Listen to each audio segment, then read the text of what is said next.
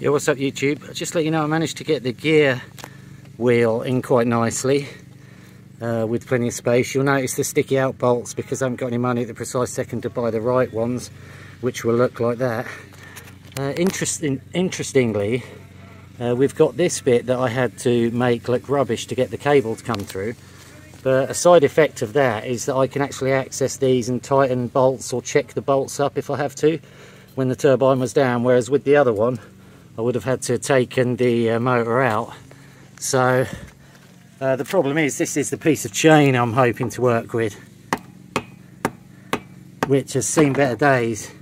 I put some oil on it, but it's made no difference whatsoever. We have this piece. This is the piece of chain which is in good condition, as you will see, but is nowhere near long enough to get what we need. Uh, also, I did drill a 25mm hole through this one uh, and I'm interested in perhaps being able to run two gears but we're fairly short on space. If we look now then that would be the smaller gear would be in alignment but with all this stuff on the bigger gear and with them two welded together it won't go. What I'm thinking of doing is trying to mount the motor further back. Uh, we see we've got plenty of room there so what we'll need to have is some kind of uh, jobby like this, sorry. It's hard to see in this light, so bright. Some kind of jobby like this, perhaps on the inside, to then allow the motor to come back to give us space. That would then be welded on there and we'd have two gears. That may or may not happen. I'm having a rest for a couple of days. I've got my kid over mowing the lawn again but yeah that's the uh, plan for now is to try and uh, revive this chain or just wait till I've got some money and buy some new chain because this is only half the length it needs to be. That motor is in there solid.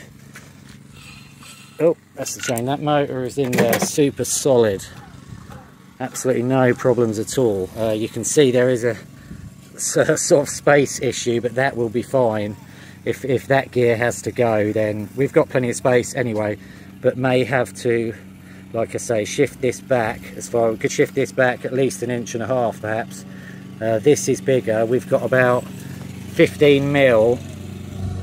We've got about 15 mil here that could go through but then as I say it'll need to be connected on the inside. Anyway I thought that looked pretty cool and I really like the fact that I can check the bolts uh, when it's on the turbine. So yeah right I'll see you soon. Sweet